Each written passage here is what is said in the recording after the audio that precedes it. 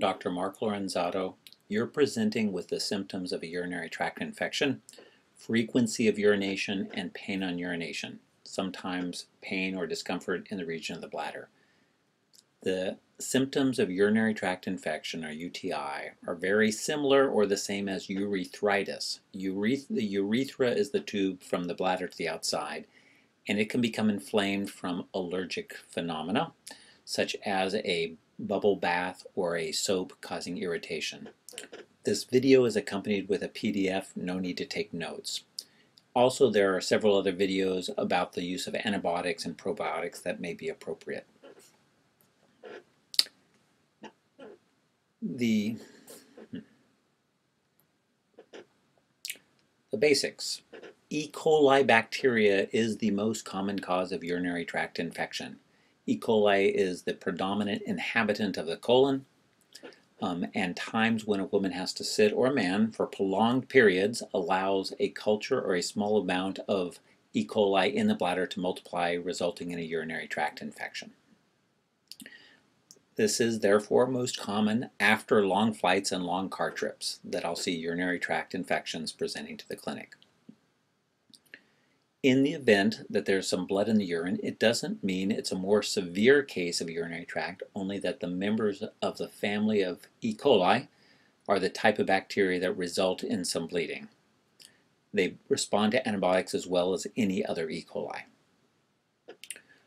More frequent episodes of sex or more rigorous sex can result in a greater chance of urinary tract infections and urinary tract infections can sometimes mimic the symptoms of sexually transmitted diseases, so it may be appropriate to check your urine for chlamydia and gonorrhea particularly. One can reduce the risk of urinary tract infection by wiping away from the urethra towards the anus when emptying the bladder or having a bowel movement.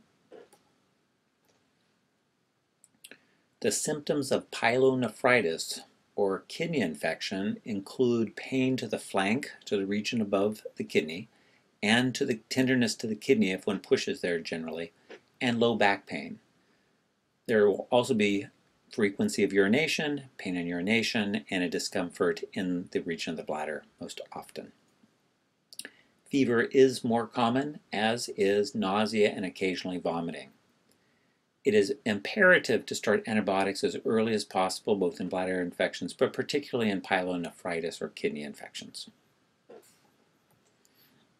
The treatment of urinary tract infections, bladder, ureter, or kidney, is by antibiotics. The antibiotics is initially empirical, the ones we think are most likely to work, and then at about three days, we'll get the results of the culture and sensitivity from the urine sample that we've collected on your first visit.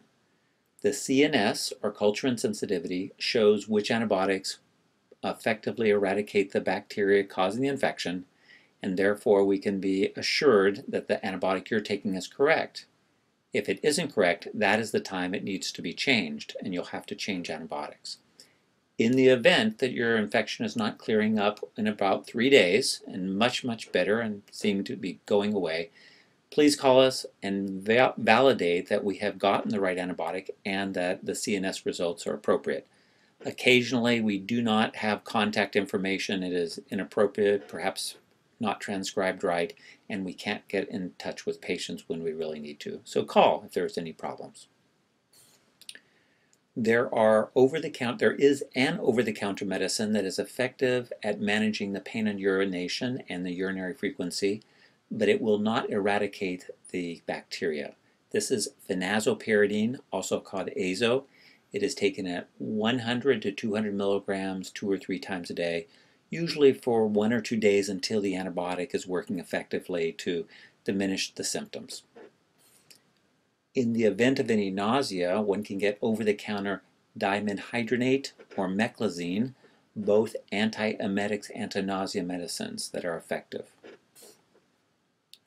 The use of cranberry juice may prevent an infection if taken early, but once an infection is established, it is imperative to use antibiotics to eradicate it. Again, the cranberry juice can be effective early in a urinary tract infection and even as an adjunct through the urinary tract infection, but it is imperative to take antibiotics if you have a urinary tract infection, if it's an acute infection, um, that has a potential of moving to your kidneys. Yeast infections are common side effects of the antibiotic therapy. Therefore, I frequently write for an anti-yeast or a medicine that will kill yeast to be taken after the antibiotic in the event of a vaginal yeast infection. Alternatively, there are over-the-counter medications like miconazole that can be used. So, the plan.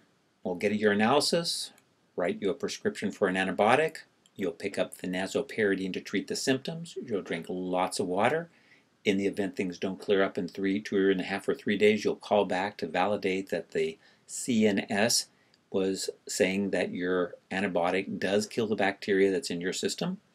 And we may have you follow up with another urinary tract, with another urinalysis.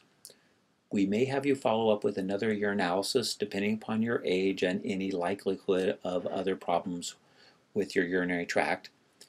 In the event that we're relying on a urine to show no red blood cells, it needs to be five days before or after the menstrual period. Thank you. If you have any questions, please engage me and the team.